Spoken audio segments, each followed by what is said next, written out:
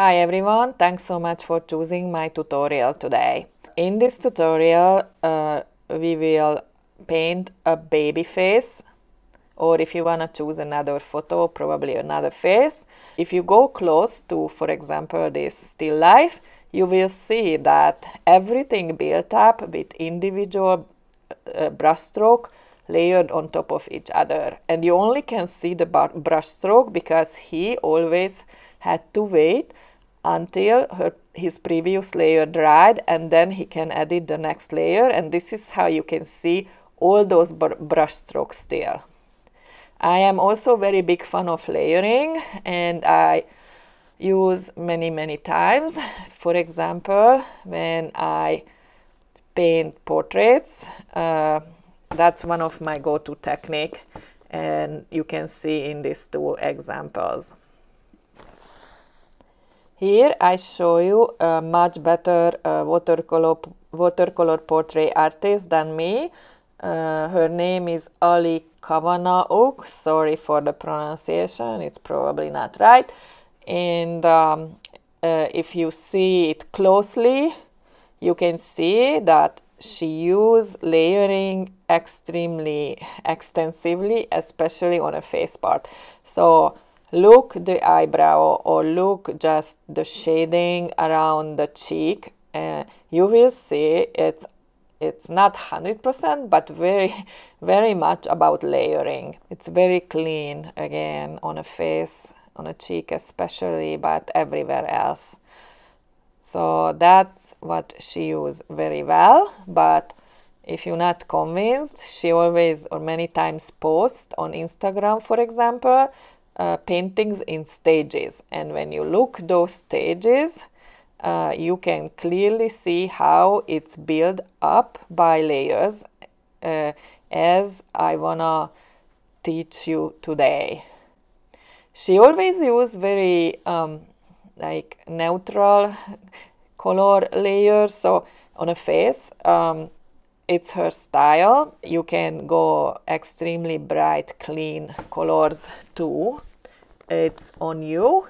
You can even paint with one color, but then you won't learn about uh, making colors by layering. And as you can see on this example too, layering give you values and also colors. So it's important both. So it's better to practice with, uh, with colored, but it's a good method for monochrome. Here is even a better, more interesting uh, example because you can see four stages. So when I show these four stages, one thing is very apparent. Uh, she built the whole painting together. She not working on one spot and finishing it up and then going to another. No, she put down a layer regarding the whole painting always and uh, then go to the for the next layer also everywhere. So first start just very light and put uh, the, the, those light tones everywhere.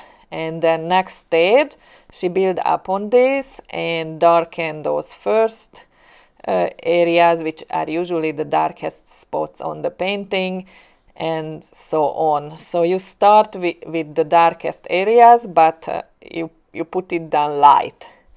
And then you put the next layer and you darken those areas with one layer which, already done and you adding new areas just with one layer and uh, they stay lighter and so on until you build up four five even ten layers depend on your color values. If you tend to work with very dark colors um, then you only have three layers probably maximum. If you can really make light washes uh, on each layers you can build uh, a lot. And of course it's okay if you not only use layering because what I'm trying to show here is painting organically uh, not uh, very it I, I don't want to I want you to enjoy it not just thinking about the technique. So I you will see I'm painting very fast and fresh and don't worry about if it's if it's melting together or wasn't completely dry. Just go on and do it and try to enjoy it. So this is the last picture is a is just the three stages of that painting we will do. And I just put it here because I want to show that each stages uh, give you a complete uh, kind of almost complete painting. So uh, you can stop almost in any any uh, given layer number when you like it. So that's another thing I want to say. Um, I probably I think have four session on this painting four different uh, layer. Um, it's not like for everywhere. Don't misunderstand me. It's just I four times wait for drying and start to add new layers. So uh, but if yours is you really like it after two or you wanna add one more that's fine. You need to stop when you like it and you you feel that it's ready. So next I will explain the tools and the materials uh, you need for this tutorial.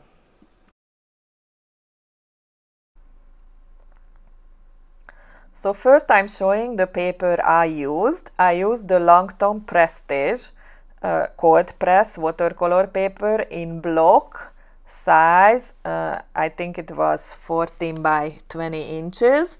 Uh, but I only used one side of it, so I didn't need it the whole paper. Uh, the face was approximately life size, I think. Um, the, this paper is excellent. So if you can buy this and you like to try new paper and you can afford it, uh, that's that work absolutely amazing for this tutorial. The layering is beautiful on it. It's dry um, pretty well, uh, not too long. So I really suggest that. It's excellent.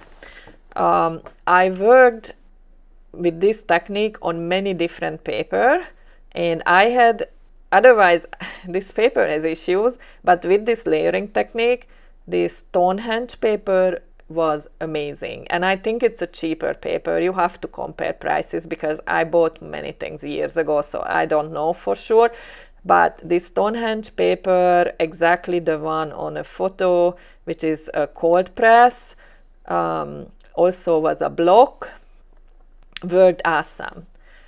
Uh, of course, Arches paper never disappoint. If you can afford, that would work again awesome. Although Arches paper dry slower, at least in my hand. So maybe you need to wait longer a little bit if you use that one but no matter what, I really suggest it's amazing.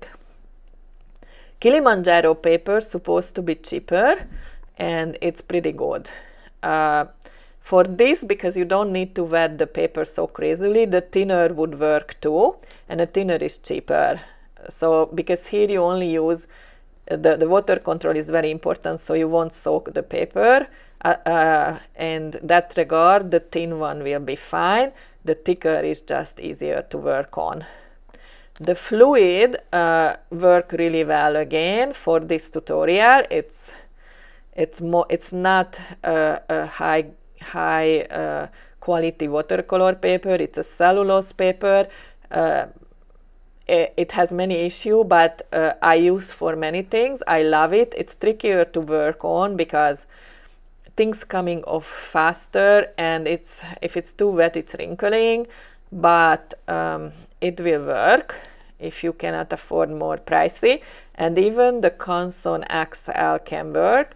Uh, of course the the cheaper the paper it's the quality obviously correlate but um, for example for the cat paintings I explained you wouldn't be able to do on Canson XL because you need to soak the paper and this paper would just fall apart. But for this tutorial where you put down very light washes, the Canson XL would work too. After you will need several big water bowl uh, for this layering technique, clean water, clean paint and uh, clean brushes are very important. Keep everything very clean. Every time you pick up a light wash, make sure it's clean. So I suggest minimum two, but maybe three, four, even more, a big water bowl around you. Transparent or white is better because you see when the water is dirty. Regarding brushes, uh, I use very few, mainly two brushes, one bigger and one smaller. The big one was a flat wash from silver black uh, velvet on what you can see on a photo and for thinner I think I used the same about size 8 um, but uh, Princeton Aqua Elite or um, or Princeton um, uh, Neptune would work perfectly. So one bigger. It's okay if it's not a flat wash. Uh, you can have a round wash around 20, round 20 and around 8 from any of these brushes is fine or any watercolor brushes just have one thicker one and one uh, thinner one I found very useful the flat wash it's uh, it's a, a three quarter inch flat wash. Each brand have that too, so uh, the, uh, this round, uh, uh you will see when I paint. But the, the, the plain round will work. This is a flat wash with a round, it's not a square end, but a round end. So I also used a watercolor pencil to outline the face and uh, any brand uh, neutral gray color brown any neutral color is fine. Regarding paint uh, please use any uh, even student grade but better if it's artist grade watercolor set you have at home. If you have six, six color you are fine. The more the better i think. Any any watercolor kit will work um, if you have to buy paint or you wanna buy paint, uh, I really suggest to buy the Daniel Smith um, or a Sch Schmincke Horadam paint if you can afford it. Um, and I think both, but Daniel Smith for sure have this dot card where you have all the 238 color uh, they they sell and you can try every single one. And uh, so this will help you to build your color kit. If you're buying buy just uh, colors first and this uh, and this dot card uh, because this uh, dot card um, will help you to really choose uh, what you need and it contains um, a lot of paint. So you can paint several paintings just using this dot card and while you're using it and testing it out you can decide what colors to buy to your uh, color set. So I'm, I don't want to give suggestion by the colors. It's not just colors, it has quality uh, labels on this dot card you know how transparent are the colors. For example this technique the transparent are the best the transparent colors but I love the the granulating colors or eh, I love all of them honestly. But you also can see how much they rewet for example after they dry. So for example I'm suggesting to buying ones which which rewet easily because it's harder to work always taking out freshly from the tube so, so you can learn a lot about each color and also you can test it together and then you just uh, know what you like and what not. And other than that, you will need uh, some kind of wipe. I'm using Kim wipe, but uh, that's probably won't buy and that's okay, but you need some kind of uh, paper which is not falling apart from water my experience with tissue paper is really bad. It's sticking on the wet watercolor paper um, and fall apart and toilet paper that too, same. Uh, but uh, uh, probably kitchen paper towel uh, can work or any wipe you usually use. Uh, many people use cloth. Uh, I don't have experience with. So that's what you need. Um, and uh, in the next section we start to paint. So if you have everything ready, uh, we can start to draw out uh, the baby face. This is uh, just a helper. not about making a perfect baby face or not even making anything similar to the photo. It's just an approximate uh, line drawing what is where on that face. And if it's not perfect don't worry about. This tutorial is for learning the layering technique and use the layering technique what I called organically. So very naturally um, and to understand what you're doing and why. The idea will be uh, uh, just uh, the drawing just tell you um, reference points like the eye but not the details just the line very very simple. Same with the mouth and the nose the bottom of the nose because imagine when you put down the layers you always need to form that layers to a given shape and uh, you will know the shape based on this reference point so you will know like it's next to the nose or below the nose or above the eye, next to the eye. So you, you need this reference point. Although you can do totally without the drawing. You can, if you have uh, this skill, drawing skill, then you find without this outline. When I made this tutorial, my idea was uh, really, uh, especially if you're not familiar with this technique, just concentrate on the layering part. It's already not easy uh, and this is a tutorial so I I prefer or I suggest for you just make this tutorial about one thing. And this in this case it is the technique the layering. So you need to be just aware when you put down a color a little color surface which is a little layer just the shape of that the placement the value and the color Every time you put down a new little layer, this is the fourth thing which you need to think through. Where I put it, what is the shape, what is the color, and what is the value. This tutorial is all about that. So you can see the drawing is quite simple and I'm using those little parts like eye, nose, ear, outline and neck as a reference point just when I'm putting down a layer so I don't need to think about that. That's it. So when you have the paint in your brush, you already decided the color and the color value, how dense is your paint. And now you looking your reference points, which are the drawing, and you decide the placement and the shape. And if you start with darker values, you can't put as many layers, it's harder to correct. Uh, and it's easy to correct a lighter value just to add the darker value and change the shape but it's it's harder when it's darker. So I suggest to start with lighter layers. Also uh, uh, what I'm doing here I'm working on everything together. So you can see I'm working pretty fast and every time I add something it's uh, my paintings still stay like almost like a like you can see the baby face. So it's not like you paint here and just one side and then you finish and then you go to the other side. No it's not a good tactic here.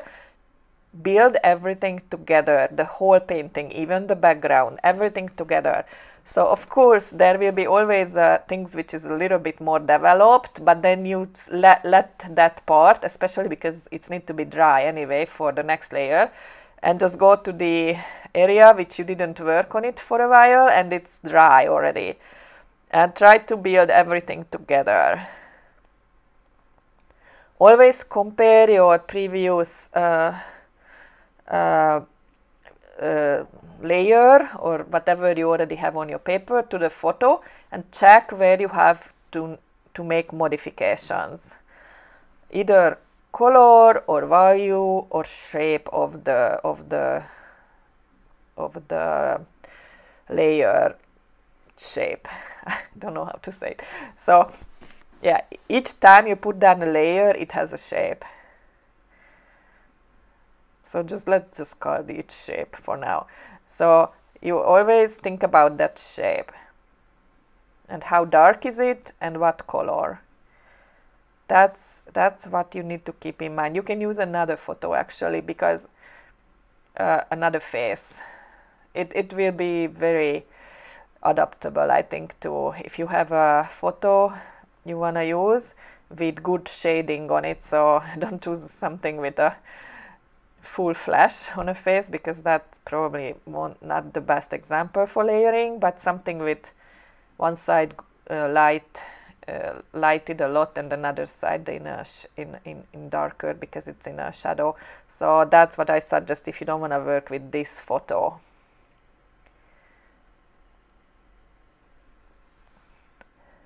So you can see I build everything together. Back background clothing uh, everything with this technique very important to at least uh, leave some kind of drying uh, for the first layer. It's not a big deal if you paint two layers and the first one is not dry, but you can't do that all the time because then it won't be layering. It will be more like um, blending and stuff. So if you want to keep the layering technique, uh, try to use mainly that. So it won't be 100% that, but mainly. So wait uh, always for drying. And I have several parts in this in this baby face painting tutorial, at least I think four at least.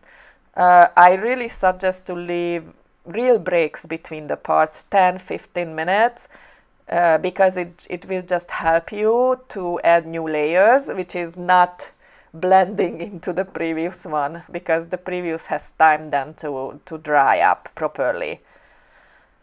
So I suggest that. I think I did it that way too. I, I waited many times and I many times not waited even enough to dry. Just it dried almost everywhere but not everywhere. So and this is what I suggest to you. And you can see I'm still very developing everything in the same time. So almost it's like uh, taking out a photo from um, you know that photos like from the 80s when uh, you you it's it come out white instant photos come out white from the camera and it slowly started to appear it's it's the same thing so first the darkest spots appear but in a light color and as soon as you're adding light colors uh, to the lighter places, you need to darken with the next layer your, your darkest spots. So this is your working method.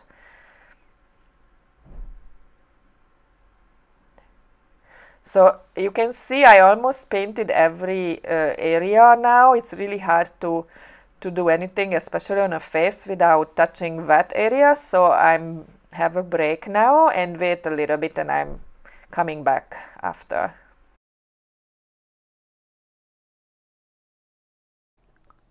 So it's not completely dry but almost and I'm adding a new layer. So uh, many times when layering happens I use my paper towel to lighten up layers. So when you add really dark washes like I'm doing now, um, even if the the end result should be as dark, I usually uh, make them a little bit lighter because it's give me ability for changing things. So it's it's not it's not worth to to set up very dark uh, values right away because it's it give you limitation eventually. So it will limit you eventually. And you will see many times I'm using my paper towel and, and lighten them up. So this is the second set of layer. So again, I just started, so some places are extremely dark compared to others, but I'm trying to building everything together. So on the end of this, this run, this second run, I will end up with again with something uh, all together uh, um, like not ready, I'm not saying it's ready, but altogether it's developed everywhere equally. So I won't have two extremely dark or extremely light areas. Although right now I have it because I didn't have time yet to, to go everywhere.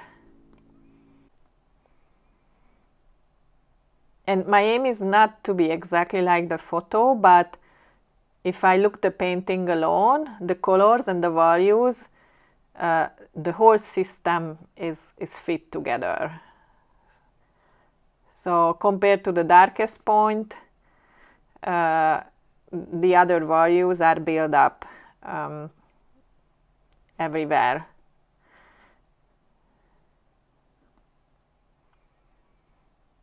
Right now, if you found something very dark or too light, you can easily change both. So too dark, you can easily wash back because it's not dried yet. Uh, too, and of course you have two light areas because you're building, so you always need time to reach all the point of the painting. And don't worry about a wipe off or, or, or wash back things. It's exactly the time when you have to change on the way that you need to eliminate layers or colors or something too dark. Just really use your paper towel or brush, loosen up the paint and wipe it off.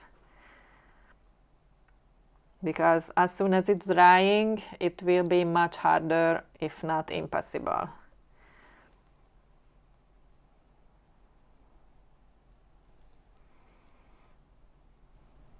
And also you can see I'm using the new, uh, new layer, the colors, to modifying the previous colors.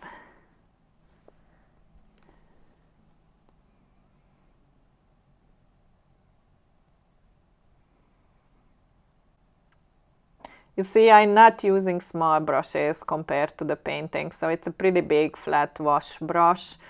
Um, I'm thinking in areas, big areas, big um, big surfaces.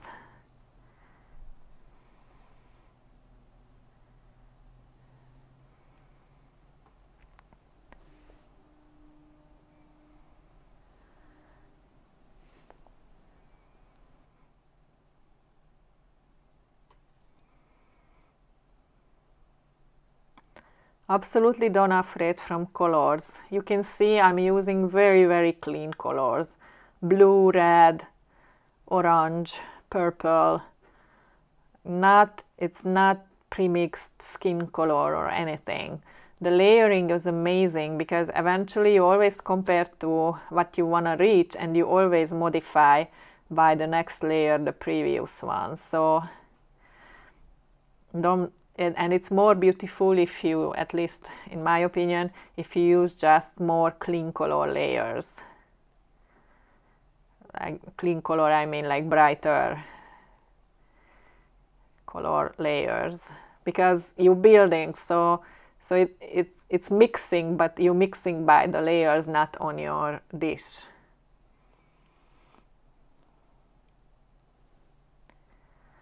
so again I reached the point when things start to melt together. So that can be good or bad. It's depend on how you want to continue. If you adding new layers and everything melting together and it bothers you, wait. It's maybe you are not exactly on on the situation as me. So when you feel that you can't touch anywhere because it's just too much leaky, you can't add proper layers, because everything melt together then just wait a little bit. 5 10 minutes and you, are, you will have several dry surface. When you work try to not try to uh, be very aware of your water control. So don't leave puddles. Just try to just add exactly the right amount of paint and uh, a right amount with the right amount of water so you won't have problem with the drying. Good watercolor paper usually behave awesome taking the water and uh, this is a really good paper. It's Langton Prestige. I absolutely adore this paper. Honestly, I love more than Arches. It's, it's just an amazing paper for everything. As you can see now, I'm going back and forth between small and large brush uh, brushes um, because uh, now my some of my layers are pretty tiny. Uh, so I need a smaller. I mean, it's not necessary. You can do it with uh, with a good pointy big brush, but it's just easier if you have a smaller brush. The water control control is easier because a smaller brush won't release as much water the, as the big one. Uh, so when you add smaller uh, uh, little surfaces, use the small one. And when you do larger, do the large one because the small will run out. so your brush will run out with, from the color if it's too if it's too small compared to the surface you wanna cover. So just go back and forth between the brushes uh, uh, as as as the as your uh, the size of your little layer require.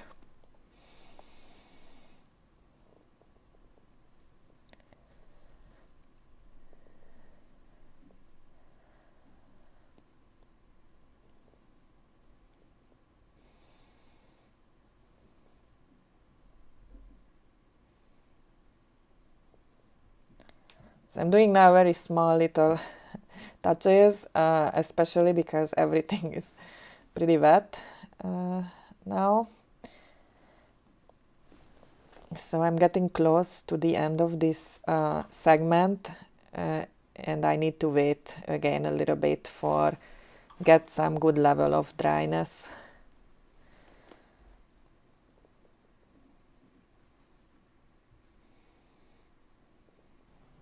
So you see, I'm removing. When I think something too dark value, I'm not worry about wiping. And I, this is what I suggest to you. Just remove too dark things. Because that's when you can.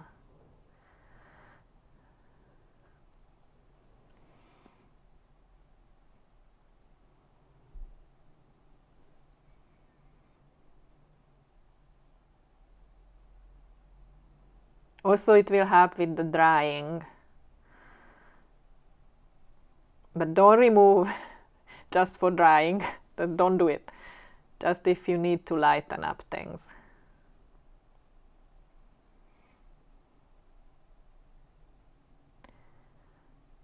It's not that I won't go to that dark values. I will eventually. But uh, I would like to do it with more layers and, and more modifications. So I, when it's too dark, I wipe it off. It will be dark eventually, but with more layers and more chance for modification. So as I said, I, everything start to melt, especially look at the head, the top of the head. So I need to wait if, if I want to continue with the layering technique. So I have a little break and then continue.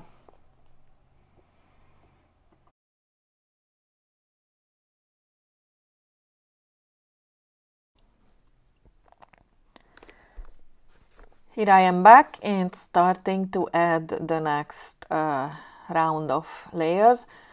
Uh, my painting is very close to dry. Not every spot is 100% dry, but it's mainly dry. And um, I starting to build again. Um, so whatever I'm doing right now, it will be a little bit weird first, but then I build up the whole thing together again and uh, then it will be balanced again uh, within the painting. Uh, if you like your painting any given state, uh, I, I strongly suggest to stop because there is no such a rule how many times you have to add layers. When you reach a point when everything within a painting is um, well balanced, I mean colors and values and you like the drawing, you don't want to modify things, just stop because there is no there is no rule how long you have to continue. And if you want to continue longer than i do you can totally do it um, because this kind of layering technique especially if you use very light washes can be continued uh, for a while. And actually that's a good thing of course if you started with uh, darker values it's harder uh, to build for a long time but that's fine too uh, on that case, you can probably go over an area two, three times. When you use light washes, it can be way more. I don't want to give number, but six definitely if you use very light washes, but probably more. So, um, as you can see now, I'm going with very bright colors again, but uh, it First of all, watercolor lose a lot of brightness, unfortunately, most of the colors when it's dry, and also volume, so it will be lighter when it's dry. So don't worry too much, uh, it will be a little bit lighter.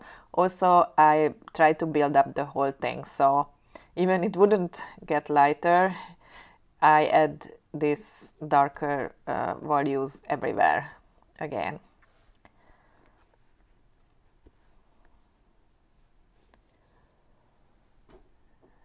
If you do something you don't like, don't worry uh, to modify it, just wash it off. Of course, it's much harder if it's an old layer, uh, but old layer can be lightened up too, but the newer layer um, is uh, what you just did. It's very easy to remove with a good uh, clean brush or a good uh, paper towel.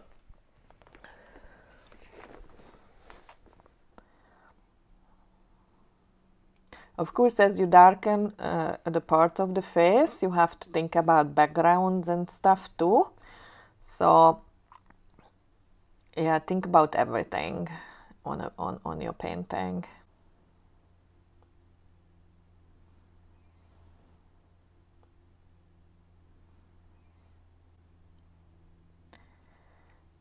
Again, because we are on a stage when we have many details, uh, I suggest to use your brushes uh, as you need. So when you need a larger area, use larger, and when you need a little more smaller little color patches, more details, use a smaller one. It's just easier. So just based on what you need.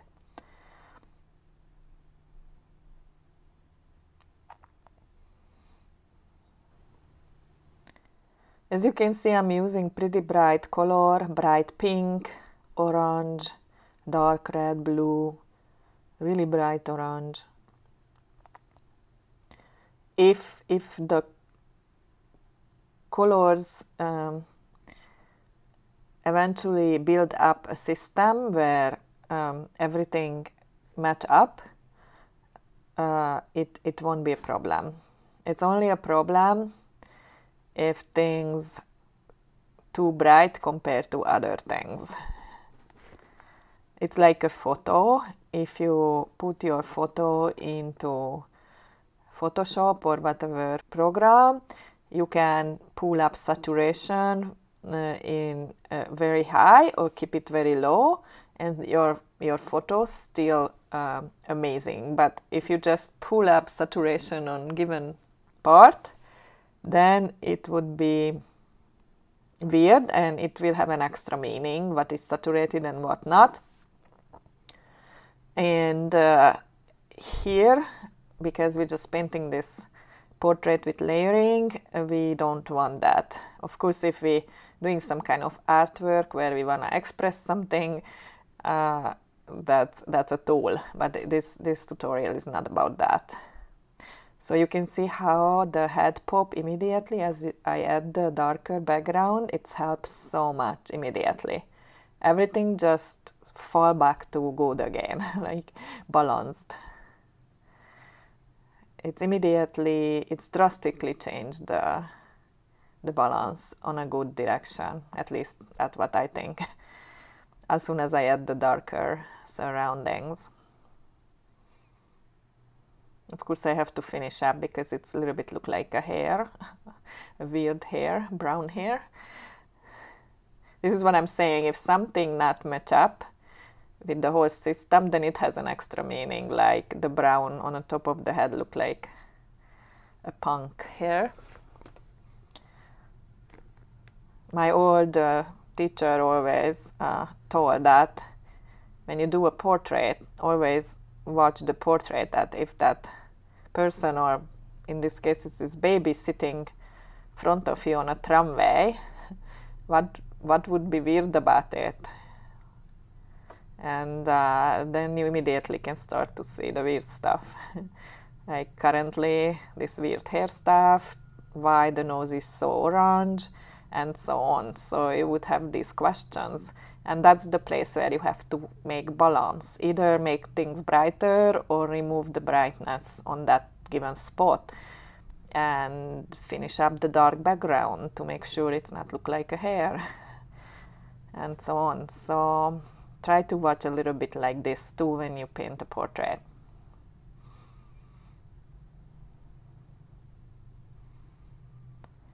Although I have to admit this is not about the portrait so uh, you don't need to worry too much about if it's not a good portrait. It's really the technique I'm trying to teach. Learning to draw very well, it's, uh, it's a big deal. Not many people can do it, and it takes many years or a lifetime to do it. So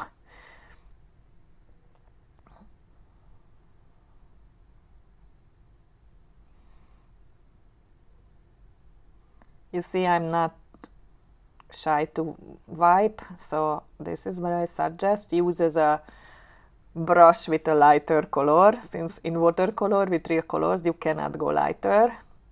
You only can go darker always. But if if it's not dry yet your little paper towel or your clean brush can be your light color. So I like it to use and it's good if you build in your habit.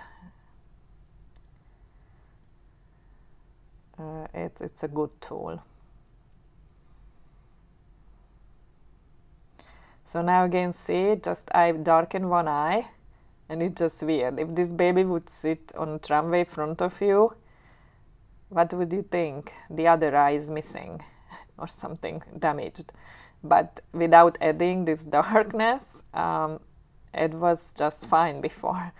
And now it's too sharp and too dark compared to the whole face.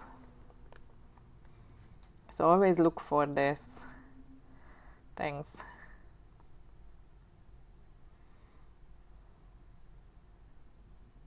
And and try to build the whole thing as a, as a system. Always compare the, the one you're working on, the area you're working on, to everything else.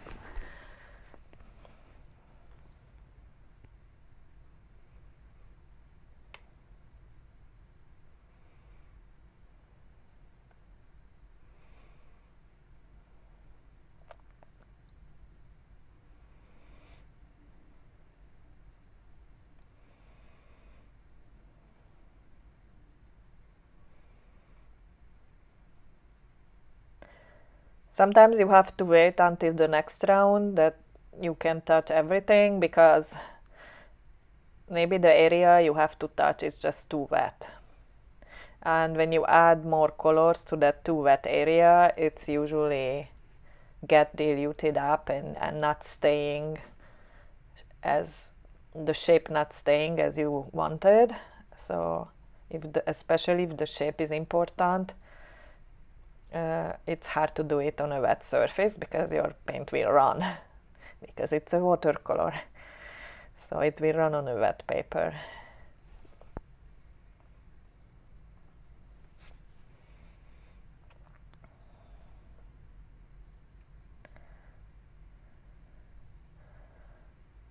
So because of that I am reaching again a point uh, very soon when I have to stop a little bit and let it dry uh, for depend on your paper too or how much area you painted but I think at least 10 15 minutes.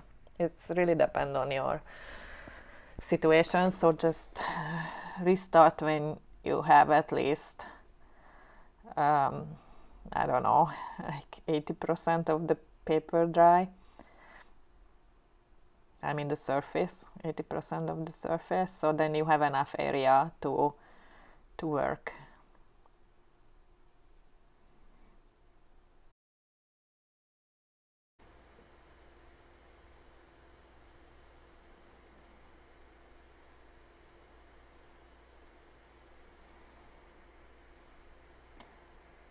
So I am back and starting again.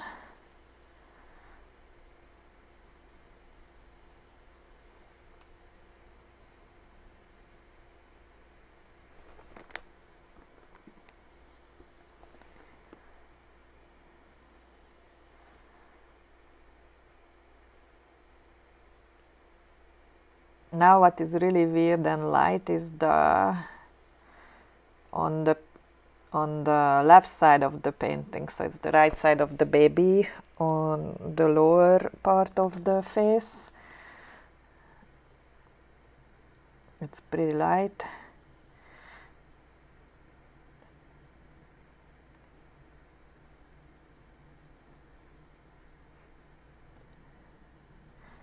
also if I darken that area the mouth probably too light.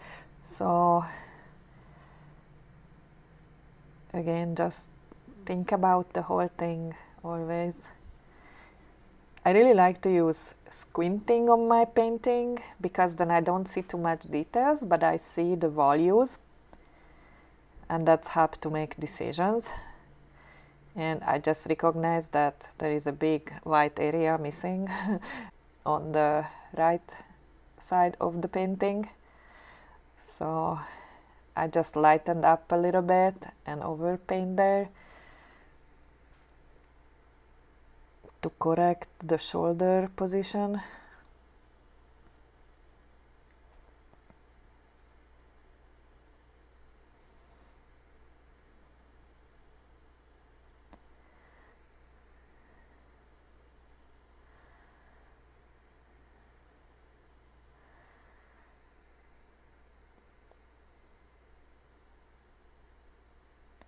And if you again ask the question, what is weird about the baby? It has a um, a beard right now.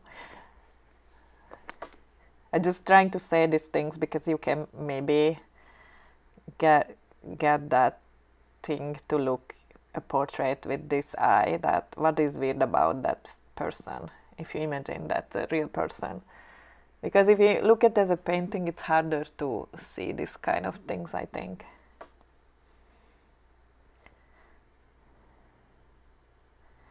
oh i think i really needed that orange there it's again just put everything immediately in position honestly uh, sometimes just you change one thing and uh, the whole balance is just normalized right away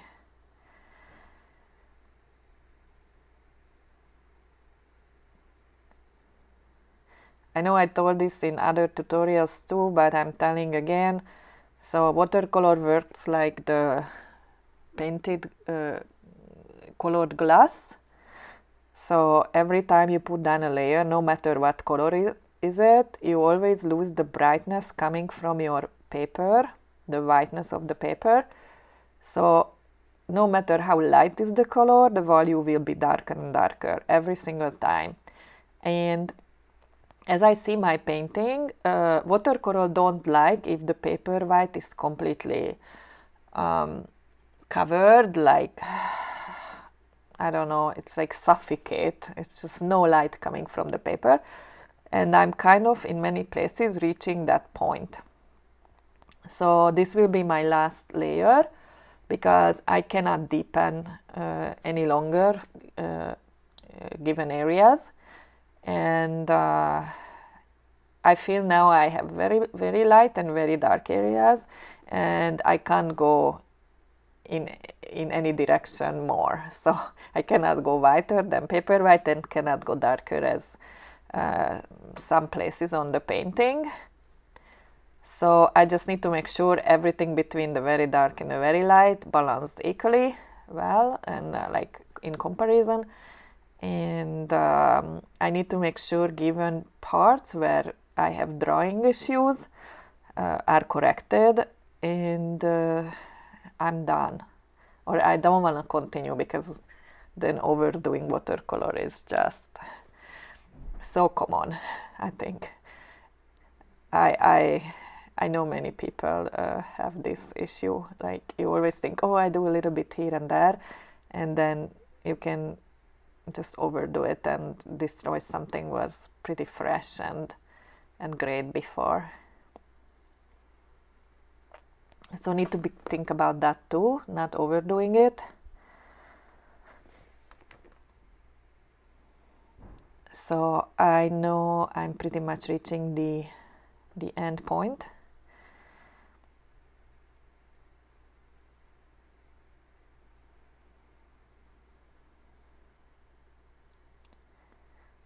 So at that point, you just take when you feel you are close to the end. If you're not, of course, it's not for you, but then you just continue as the previous sessions. But um, if you feel that you want to finish, just take a lot of back and forth, back and forth quick uh, switches with your eyes between the photo and the painting, or even just put next to each other, look it from a little distance, walk away from it for a few meters and watch it or squint on it on your painting and you will see the those little touches you need. But if you feel it's close to ready remember it's close to ready. So not you, you definitely don't have too much thing left. Otherwise you wouldn't feel it's close to ready.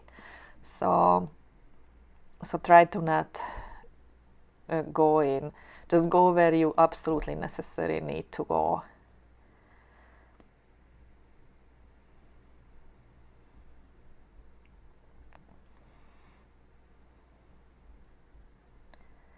So until that point it was about the technique, now spend few minutes on about the portrait portrait part and and before you finish and that's it kinda at least for me. I hope it was a useful tutorial. I hope I was able to explain the technique. Uh, please comment uh, ask questions. Um, I hope to see you in my next tutorial.